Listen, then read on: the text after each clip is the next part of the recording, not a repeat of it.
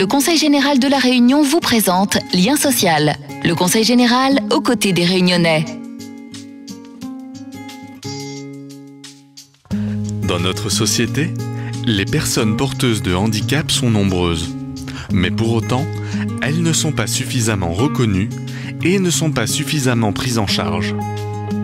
Entre manque d'infrastructures et, parfois, manque de considération, nous ne laissons que peu de place à ces personnes en difficulté. Alors, quels sont les différents moyens mis en place pour aider ces personnes? Comment sensibiliser et éveiller les consciences face à ce problème de société? On en parle maintenant dans Lien Social.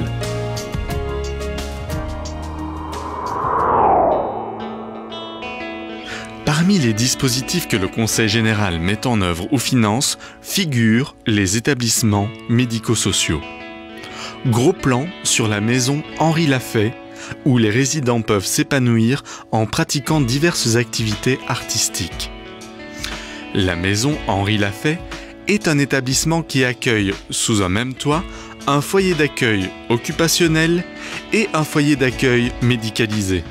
C'est-à-dire que l'on peut venir s'aérer l'esprit tout en recevant le traitement prescrit par son médecin. Il s'agit d'une prise en charge qui se fait de façon générale pour tous les résidents, tout en sachant que certains résidents nécessitent des prises en charge médicalisées particulières.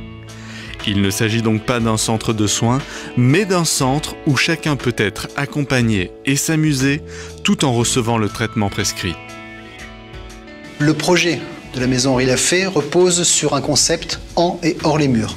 En les murs parce que nos résidents ont besoin d'avoir ces murs, ils ont besoin d'être rassurés, de vivre dans un, environnement qui leur permet de ne pas craindre l'agression extérieure et en même temps hors les murs puisqu'il y a nécessité dans leur position de citoyen d'aller chercher dans la cité l'ensemble de tout ce que l'établissement ne peut pas leur procurer. Cet accompagnement sur le volet artistique se fait toujours en binôme. Il y a toujours un artiste invité et un éducateur qui suit un groupe et qui met en œuvre justement une pratique artistique, encore une fois, pour mettre en avant, pour développer des potentiels, mais des potentiels qui sont voulus par la personne. Puisque la personne, elle est concernée par cette prise en charge. Elle n'est pas simplement soignée, elle n'est pas, patiente au sens euh, d'attendre que les choses se fassent. Elle est actrice de son projet. La maison Henri Lafay est un lieu stable et rassurant pour ces personnes fragilisées par la vie. Émilie a trouvé, à la maison Henri Lafay, un nouveau lieu de vie où elle s'épanouit complètement sans pour autant être dans un centre qui ne s'occuperait que du médical.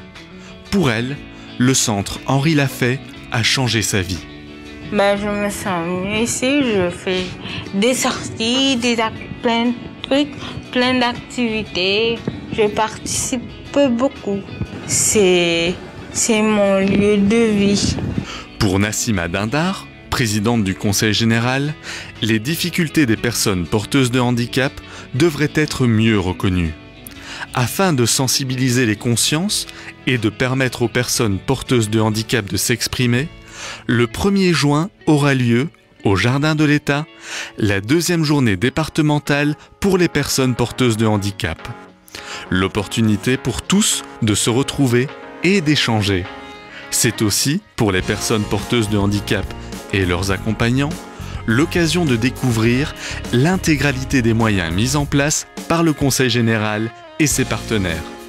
Deuxième journée départementale en faveur des personnes porteuses de handicap où euh, les familles pourront euh, découvrir les dispositifs que nous avons mis en place pour accompagner ces personnes porteuses de handicap, qu'il s'agisse du transport, des places dans les établissements, le passe loisir, le passe transport, mais aussi euh, les porteurs de handicap qui font euh, et réalisent des choses formidables, les sportifs, euh, les associations handisport, toutes les associations qui perçoivent des aides. Donc belle journée de rencontres puisque le Conseil général, tout au long de l'année, nous accompagnons les 37 000 personnes porteuses de handicap à La Réunion euh, pour un montant euh, très conséquent, 75 millions d'euros chaque année. Il y a aujourd'hui à travailler euh, mieux et avec tout le monde.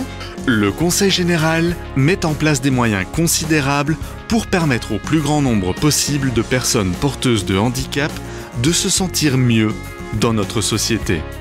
Ces personnes ont, tout comme nous, un rôle à jouer dans notre société. À nous d'éveiller nos consciences et de participer à l'élaboration de la réunion de demain. Une réunion qui n'exclura personne et prendra en compte chaque réunionnais. Rendez-vous le 1er juin, porteur de handicap ou valide, au Jardin de l'État. Le Conseil général de la Réunion vous a présenté Lien social. Le Conseil général aux côtés des Réunionnais.